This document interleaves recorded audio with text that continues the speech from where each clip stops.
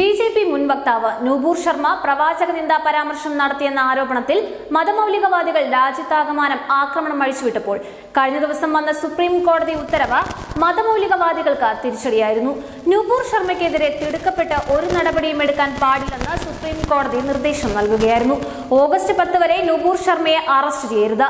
നൂപൂർ ശർമ്മയ്ക്കെതിരെ കേസെടുത്ത സംസ്ഥാനങ്ങൾക്ക് ഇത് സംബന്ധിച്ച് സുപ്രീം കോടതി നോട്ടീസും അയച്ചു. രാജ്യത്തരങ്ങേറുന്ന കലാപസമാനമായ സംഭവങ്ങളും നൂപൂർ ശർമ്മയെ വധിക്കണമെന്നാവശ്യപ്പെട്ട സൽമാൻ ചിസ്തിയുടെ വിവാദ പ്രസ്താവനയും വിശദമായി പരിശോധിച്ച ശേഷമായിരുന്നു കോടതിയുടെ നിർദ്ദേശം.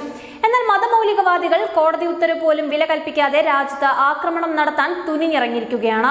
നുബൂർ ശർമ്മയെ അനുകൂലിച്ചവർക്കെതിരെ തിരിഞ്ഞിരിക്കുന്ന മതമൗലികവാദികളുടെ ഭീഷണികളാണ് ഇപ്പോൾ പുറത്തുവരുന്നത് നുബൂർ ശർമ്മയെ അനുകൂലിച്ച് സമൂഹ മാധ്യമങ്ങളിൽ അഭിപ്രായങ്ങൾ രേഖപ്പെടുത്തിയവർക്കും അവരുടെ ചിത്രങ്ങൾ പങ്കുവച്ചവർക്കുമെതിരെ നിരന്തരം ഭീഷണികളാണ് മതമൗലികവാദികൾ പുറപ്പെടുവിക്കുന്നത്.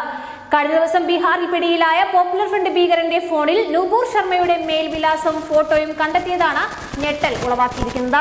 പ്രവാചക വിവാദത്തിൽ നൂപൂർ ശർമ്മയ്ക്ക് ശിക്ഷ നൽകാൻ പോപ്പുലർ ഫ്രണ്ട് തീരുമാനമെടുത്തതായി അന്വേഷണ സംഘത്തിന് വിവരം ലഭിച്ചു. പോപ്പുലർ ഫ്രണ്ട് നേതാവായ അത്തർ പർവേസിന്റെ ഫോണിൽ നിന്ന് നുപൂർ ശർമ്മയുടെ വിവരങ്ങൾ കണ്ടെത്തിയതിന് പിന്നാലെയാണ് ഇപ്പോൾ പോലീസ്. അത്തർ പർവേസ് മുഹമ്മദ് ജലാവുദ്ദീൻ അർമാൻ മാലിക് എന്നിവരെ എൻ സംഘം നാൽപ്പത്തിയെട്ട് മണിക്കൂർ ചോദ്യം ചെയ്തതിൽ നിന്നാണ് വിവരങ്ങൾ ലഭിച്ചത്. പോപ്പുലർ ഫ്രണ്ട് പ്രവർത്തകർക്ക് തീവ്രവാദ ബന്ധമുണ്ടെന്ന് തെളിയിക്കുന്ന തെളിവുകളാണ് അടുത്തിടെ പോലീസിന് ലഭിച്ചത്. ബീഹാർ പോലീസ് നടത്തിയ അന്വേഷണത്തിലാണ് തീവ്രവാദ ക്യാമ്പിൽ പങ്കെടുത്ത പോപ്പുലർ ഫ്രണ്ട് നേതാക്കളെ കണ്ടെത്തുന്നത്. ബീഹാറിൽ പോലീസ് നടത്തിയ റെയ്ഡിനിടെ നിർണായക രേഖകളും കണ്ടെത്തിയിരുന്നു. ഇന്ത്യയെ രണ്ടായിരത്തി നാൽപ്പത്തിയേഴോടെ ഇസ്ലാമിക രാജ്യമാക്കാൻ പോപ്പുലർ ഫ്രണ്ട് ശ്രമിക്കുന്നുവെന്ന് തെളിയിക്കുന്ന തെളിവുകളാണ് ലഭിച്ചത്. ഇവർ പ്രധാനമന്ത്രി നരേന്ദ്രമോദിയുടെ സന്ദർശന വേളയിൽ ആക്രമണം നടത്താനും പദ്ധതിയിട്ടിരുന്നതായും കണ്ടെത്തിയിരുന്നു. ഇതോടെ നൂപൂർ ശർമ്മയ്ക്കെതിരെയും ഇവർ ഗൂഢപദ്ധതികൾ മെനഞ്ഞിട്ടുണ്ടാകുമെന്നാണ് പോലീസ് കണക്കുകൂട്ടുന്നത്.